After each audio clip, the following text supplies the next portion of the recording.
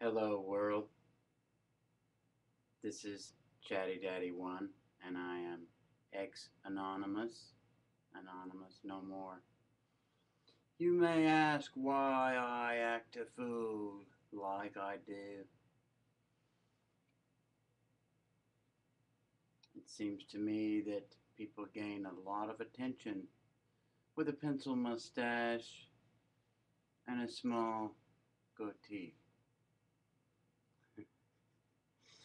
Well, really, I'm doing this in kind of all fun, and uh, I just want to make this video and continue a few of the things that I was discussing with you um, on my other video. Oh, and people seem to take, they seem to pay attention to a guy in a suit, you know, suit, tie, the whole nine. How you like it? Yeah, do a little bit of modeling for y'all.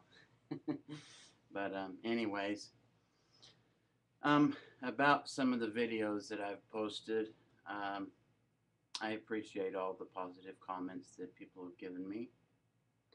And I'm disturbed at some of the negative comments that I've received too. There's a lot of anger out there maybe a little bit of jealousy mixed in there with things. Don't ask me why. I have no idea. Um, but uh, it just seems to be that way.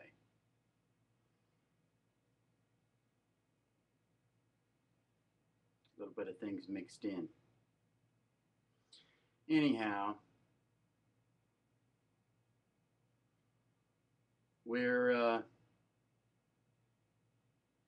in a time and age where our kids are being taught things in school that are not right. My son came home the other day from school and tried to convince me on how much better communism is than capitalism in, in the system that we live in. Okay? Um, I said, you know, son, in a perfect world where there was no greed, with the main man, Jesus Christ, if he was in control, then it, then it would work. But with the clowns that we got in there now, and eh, they never gonna work. Neither is socialism or any of that kind of crap. And it's just not going to happen. There's too much greed. There's too much repression of the poor. There's too much of, I don't want him to get what I have or to become more prosperous than I am myself. There's too much of that and uh, that needs to stop as well. Um, but it's not going to work. Capitalism has uh, worked very well so far for a lot of people, for our nation, for this world. Um, it's not your fault. It's not my fault that we have poor people out there.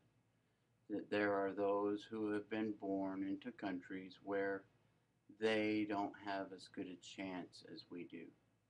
And I am all for, hey, let's go and help them out.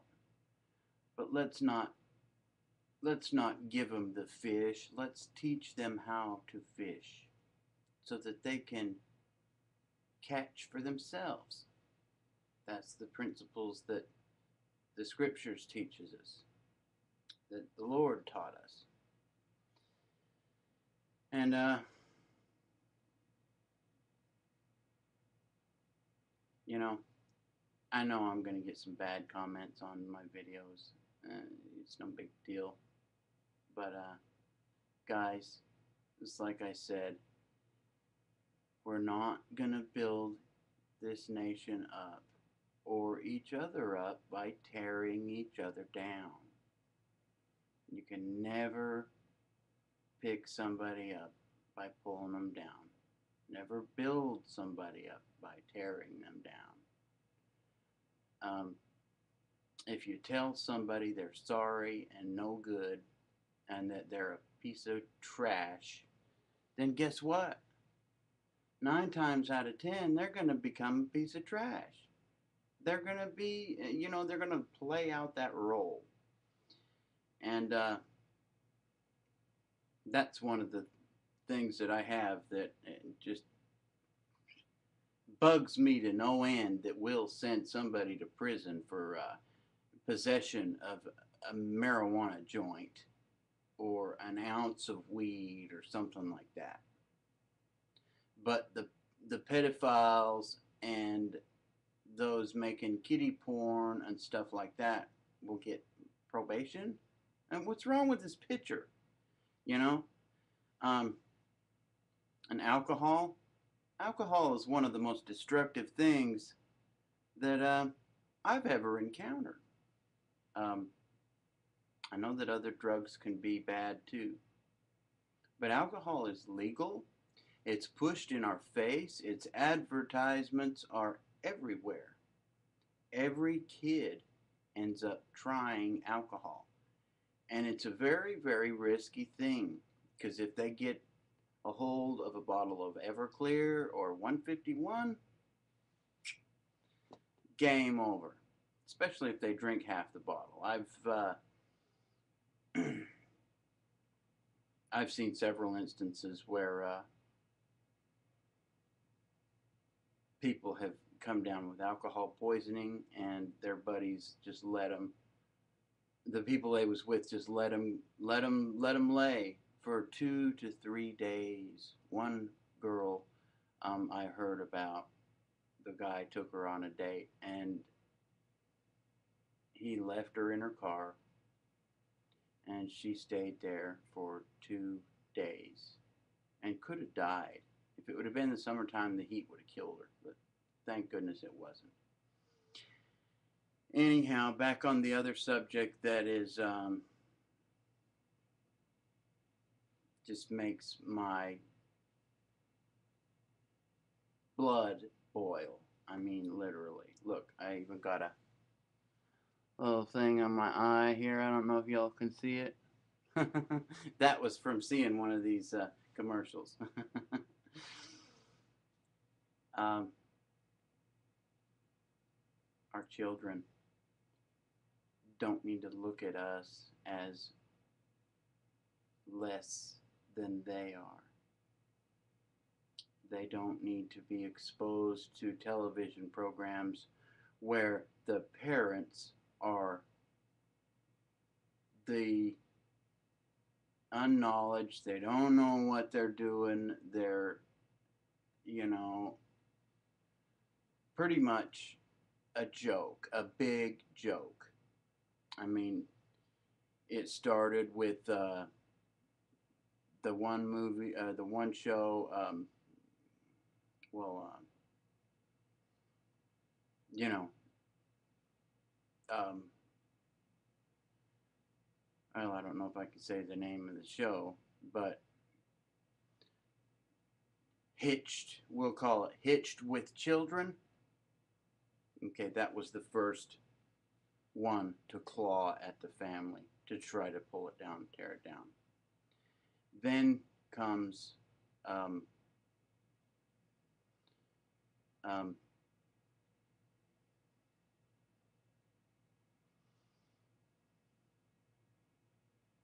Rosie Ann, let's call it. uh, that was another one that, uh, but it, in in all reality, that was more realistic in life than a lot of the other ones. But I mean, these are far from the Andy Griffith show. These other shows that don't make dad or mom look like retards.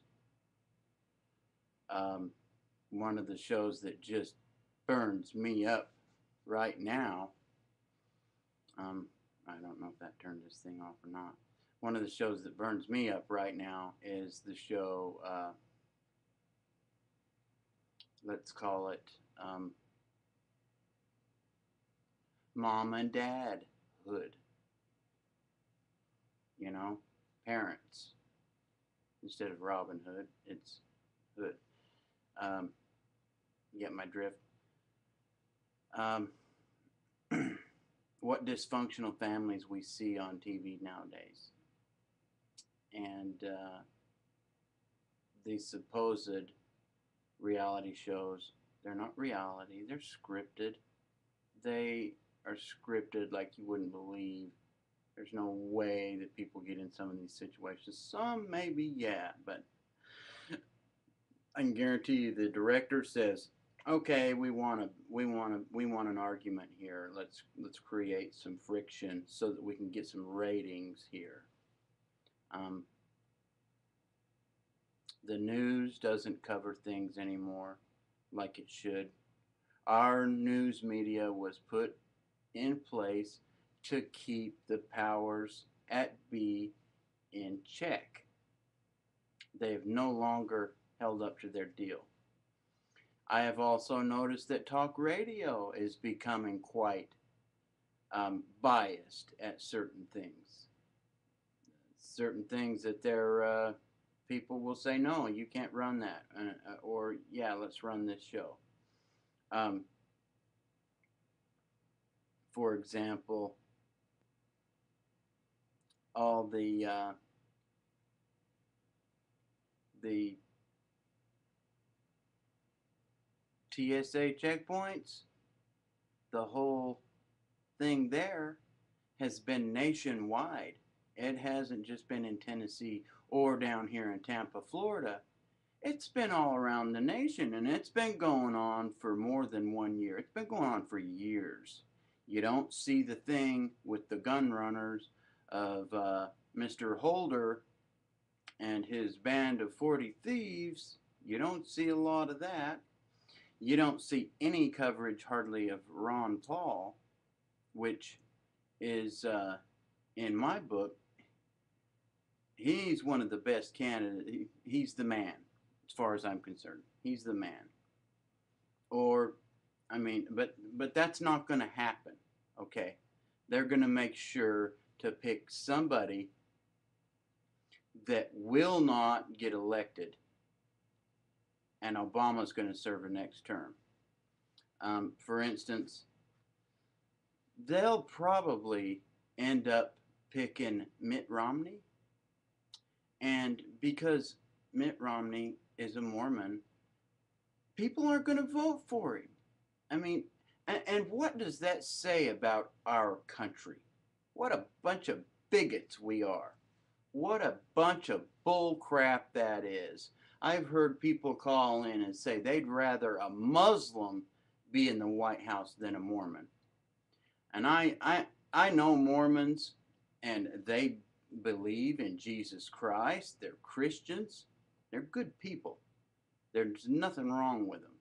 I know personally. Um,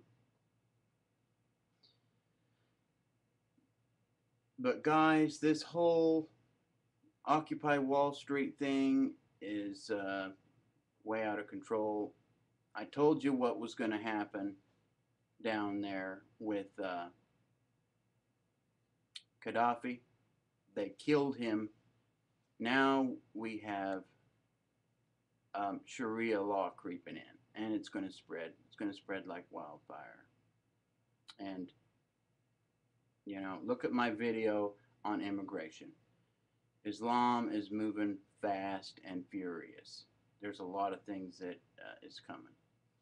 But, um, y'all be careful of this anonymous and this whole thing. It's backed by George Soros and um, people with a lot of money, a lot of power that just want New World Order, one world government. Anyway, love y'all. Hope everybody's safe. This is Chaddy Daddy One. Over and out.